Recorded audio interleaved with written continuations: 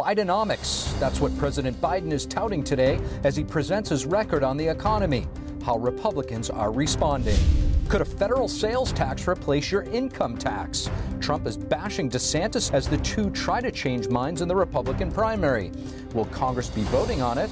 We'll hear from a tax analyst about the implications. A new report about the information government agencies had ahead of January 6th. Were they aware of the potential violence that was coming? We show you the findings. And former President Trump suing writer E. Jean Carroll for defamation. Trump accusing Carroll of persisting in claims that a jury rejected in a civil suit she brought against him.